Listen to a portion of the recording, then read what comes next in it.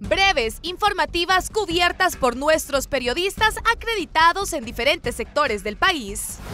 Nuestro compañero Ninrod Jonathan Rubí desde el departamento de Olancho nos informa que habitantes de 40 comunidades del margen derecho del río Guayape en Juticalpa, Olancho, están solicitando les construyan un puente sobre el río, ya que el único medio de transporte para cruzar es un pipante. Entonces hay veces que nosotros aquí eh, a pie o se pide un taxi que vaya hasta la pollera para ahí poder traer sus cositas. Entonces yo le pido al gobierno, ¿verdad? Que ojalá Dios quisiera, él pusiera de su parte, a pesar de que, es una comunidad que aquí los impuestos se pagan y a nosotros no los ha dado servicios. Mire, aquí hubieron elecciones y para ver, más zanjos hicieron solo para, para venir a, a, las elecciones. Y ahí a nosotros los han olvidado que aquí. Giovanni Romero desde Olanchito también nos muestra todo lo sucedido durante este fin de semana, donde se ha realizado desfile hípico y además una importante coronación juvenil, esto en el inicio de la feria patronal de la comunidad de Santa Bárbara, Olanchito Lloro.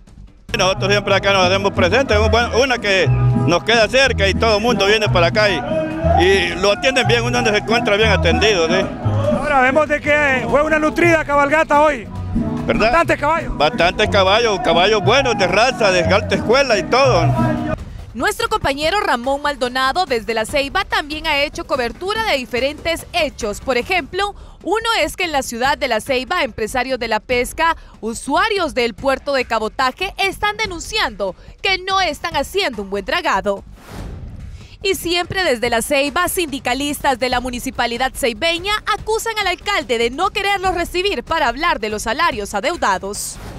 De la zona atlántica nos trasladamos hasta la zona oriental de Honduras, donde nuestro corresponsal Julio Ruiz nos da a conocer que el Colegio Médico ha galardonado al médico del año 2018. Se trata del doctor Idixir Garmendia. Actualmente labora en el Hospital Gabriela Alvarado en la ciudad de Dalí un especialista pediatra en medicina interna que ha sido galardonado con este gran premio. Y católicos siempre en la zona oriental realizaron una caminata en oración poniendo en manos de Dios a los compatriotas que han dejado el país.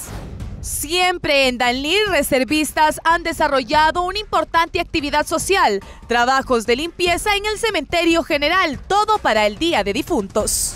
Noticias cubiertas por nuestros corresponsales en diferentes partes de Honduras.